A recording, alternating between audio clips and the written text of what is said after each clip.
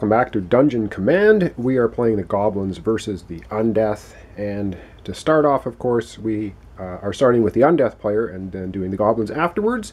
So let's go over to the Undeath player area, and we'll get going with their turn.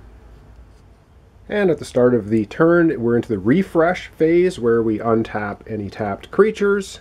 Uh, so the Disciple of Kyuss with 40 damage on it gets untapped, and they collect one more command card to add to their growing pile. Uh, and that is basically the refresh activity. And we would do any start of turn effects, but we don't have any for the Undeath player. And then we go into activating creatures one at a time. So we're going to uh, readjust the camera and we'll start activating. Uh, we have a zombie and we have Disciple of Kyuss, and that's all they have, so let's get to activating them. Alright, so the first thing we're going to have is the Disciple of Kyuss to go, who's right here, adjacent to the Hobgoblin Soldier, and he is going to play Fear. It's a minor action, so it's not going to tap him.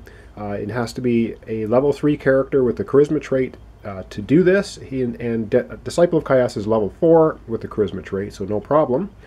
Uh, and it says Dragon Affinity, so any dragon can also uh, use this ability. But anyway, he meets a Prerequisites, it says shift each adjacent enemy creature five squares. So he is going to be able to shift uh, this adjacent enemy five squares. So he's just going to go one, two, three, um, and four, five. He'll shift them to into this space. And the reason he did that is uh, now, uh, because he's not tapped, he's going to make a ranged attack. So we'll look at his card here. And you can see he has a ranged attack which does 20 damage uh, at a range of 10. So that's not a problem. So that will tap uh, his character. And so he makes a ranged attack against the Hobgoblin Soldier. However, the Hobgoblin Soldier is not going to take 20 damage. Uh, the Hobgoblin Soldier, because he has uh, a block ability, he gets to block 10 damage. So prevent 10 damage whenever a source deals uh, damage to this creature. And that is um, just a innate ability now. Um, so instead of taking 20 damage, the Hobgoblin uh, will take 10. However, he is going to tap himself. Um, and by tapping himself, because we have our, up here, our Hobgoblin Sorcerer is on a magic circle, so our Hobgoblin Soldier can tap himself to prevent 10 damage. Uh, so his innate ability blocks 10 damage, and tapping himself also blocks 10 damage, so the 20 damage amounts to nothing. So that was a wasted attack by the Disciple of Kyuss, but anyhow, there you have it. And last up is going to be the zombie is going to activate. Um, and the zombie is has a movement of four. And so he is just going to go this way. One, two, three, four. Uh, sorry. One, two, three, four. Is that was that correct? I think so. If not, I'll change it. Uh, I can't remember if he was here or here. I think he was right here. So one, two, three, four. Yes, yeah, so he's going to end his turn there, and that's it. Uh, and so at the end of, of the turn, after we activate, we do the deploy. And so the leadership now of the undead character is going from 10 to 11, and he only has five uh, level of creatures on the board, so he can do a 6 or below, or a combination, up to 6. Uh, and what he is going to do is he is going to field the Skeletal Lancer. It's a level 4, so it's well within uh, his leadership ability at the moment. 100 hit points, does 20 melee damage, has the Constitution ability, and it says a rider. When this creature is destroyed, you can immediately deploy one skeleton creature of level 3 or lower in any square it occupied. So basically you destroy this unit, and the skeletal, uh, the skeleton riding it pops off and goes into battle, and it has a speed of 8. So let's uh, put that in the area, and we'll take a look at the mini. And this is what is now coming on the board for the Undeath player, and that's the Skeletal Lancer. So we'll just put him, say, right here in this corner to start off. Not a problem. And after that, we do the cleanup. End of turn effects, uh, draw back up to your creature hand size. So they're going to draw one more creature. Of course, we don't know what it is. To have a hand size of three. And lastly, um, is you untap your creature. So the Disciple of Chaos becomes untapped again. Alright, that's the Undeath player's turn. Didn't manage to do any damage to the goblins, but now it's the goblins' turn, so let's get to them. Alright, over to us, the goblin player. So uh, the first thing we do is start of turn effects, which we don't have any. Then we untap any tapped creatures, so we're going to untap the hobgoblin soldier, uh, who tapped himself uh, to prevent 10 damage, and the rest are not untapped. And then we are going to uh, get one order card. So let's have a look at this and this says Undaunted Surge. It's a minor action. Uh, level 3 Constitution ability. Well, that is good for either our Feral Troll or our Hobgoblin Soldier. Uh, and it says remove all cards attached to this creature. Attach this card to the creature, and it says this creature's melee attacks deal plus 10 damage. That is absolutely exactly what we needed. Awesome. Uh, and now we're into activating creatures. So the first thing we're going to do, I think, as far as activating creatures, we're going to activate the Hobgoblin Soldier, and we're going to use this card on him.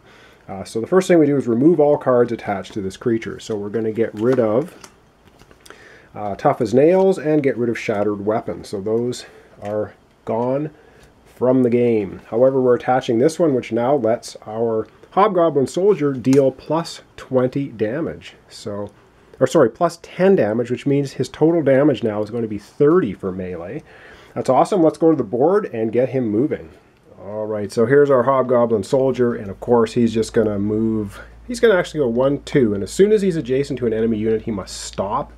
Uh, so he stops right there, and he is going to do a melee attack against the Disciple of Chaos, and we're going to play this standard action attack, level 2 constitution, while our Hobgoblin Soldier is a level 3, so this is going to tap him. And it says make an attack against uh, attack that deals plus 20 damage. This creature heals 10 damage. Well, we're not going to heal 10 damage, but we're going to get plus 20 damage on our attack. And what that means is uh, our Hobgoblin now is going to do a total of 50 damage to the Disciple of Chaos who only has 30 hit points left. Uh, and now they're going to look at their cards and see if there's anything um, they can do. And I don't think they have anything they can do. And so what's going to happen is the Disciple of Chaos, even though he has the Mage Armor protecting him from 10 damage, which would knock him down to 40 damage, the Disciple of Chaos is taken out of the game and killed. And now if we look at the uh, Disciple of Chaos, he is a level 4, which means the Undeath player is going to lose uh, 4 morale for having that creature killed. So he's going to go from 14 down to 10 morale. So what a that was a good shot for uh, our Goblin team here, which has a morale of 11. Uh, and that, of course, taps our Hobgoblin Soldier. And now we're going to readjust the camera and activate our last three Goblin uh, units. Okay, so very quickly we're just going to activate our Goblin Archer.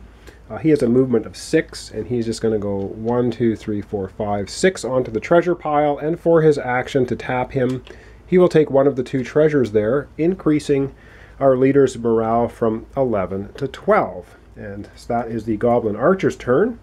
Next, I think we're going to do the Feral Troll, which has a movement of six, and we'll just get him sort of out into the uh, area here. So one, two, three, four, five, six. We'll just move him straight out. And he's not going to perform any actions. Uh, and do we want to do anything? No, we have no cards that we can use for him. That's going to be the Feral Troll finished. And lastly is our Hobgoblin Sorcerer. Uh, and he has a range of 10, but I don't think he can reach the zombie. Let's have a look here. 1, 2, 3, 5, 6, 7, 8, 9, 10. While he can actually um, attack the zombie. Strangely enough, it's if you count the diagonals, we have a range of 10. So he's just off camera. Let me readjust and we'll do that attack. All right, so our Hobgoblin Sorcerer here is going to take a ranged shot at the zombie, and uh, the zombie is not uh, blocked by anything. You would think this corner here blocks, but it actually doesn't. If we go from this corner, uh, we can see all four uh, corners of this square that the zombie is in unimpeded. And so, uh, our Hobgoblin Sorcerer has a range of 10 and a damage uh, dealing ability of 20. So he is going to do 20 damage, tap himself on the zombie.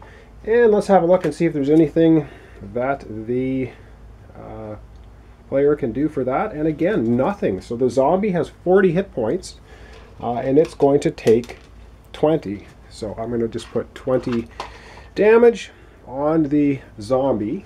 Uh, it's still kicking. And well, that's that. All right. That's a good turn so far for our, goblins. And now I'll just readjust the camera and we'll finish up our goblin turn. All right, so now we do the um, deployment phase. So we're going to go from leadership 12 to 13. We have 3, 6, 7. 8, 9, 10, 11, we have a 12, so we could put out a creature of level 1, and of course we know we do not have any level 1 creatures, so that's not going to happen. Um, and we untap all of our creatures now. Uh, and that is going to wrap up the end of the Goblin turn. And wow, we've done a really good job. Um, that was uh, we had a very lucky card draw. Uh, that helped out our Hobgoblin Soldier, was able to take down the Disciple of Chaos. All right, thanks for watching. Thanks for subscribing. Join me next time for the continuing epic battle between Tyranny of Goblins and the Curse of Undeath. All right, thanks for watching.